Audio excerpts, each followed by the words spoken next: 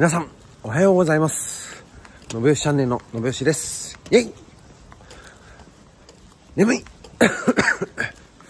いやー、このね、風はしつこいね、咳が。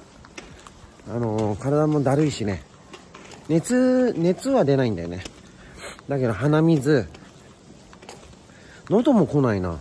なんかでも喉が、みたいな感じ。ね、咳がすごい。咳すると疲れるじゃん。そんな、そんな感じのだるさ。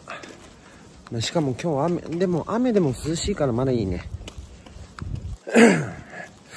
さて、皆さん、昨日もね、えー、私のライブに来ていただきありがとうございます。本当に感謝します。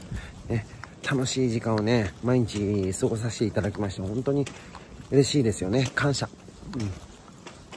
そしてね、今、ライブができない、大田区の、ね、大田区蒲田の羽賀健二、ね、多分昨日もアーカイブか、その生で見てたと思います。ね。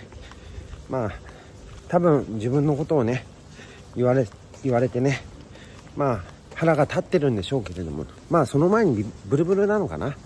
ね。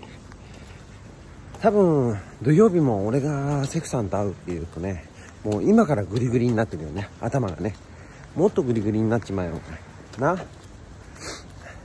そして今日はまだ大森のおじさんの家にいるのかなお前は本当に寄生虫みたいな男だよな。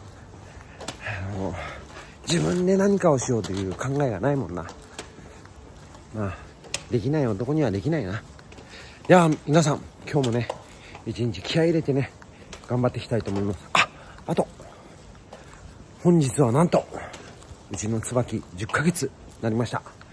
皆さんね、えー、皆さんの支えもあって、椿はね、元気に育っております。ありがとうございます。たったらね、もう早くこのテレパ問題を解決して、あいつをぶった切ってね、あのー、新しい、ね、企画に行きたいなって思ってます。では皆さん、今日も一日ご安全に。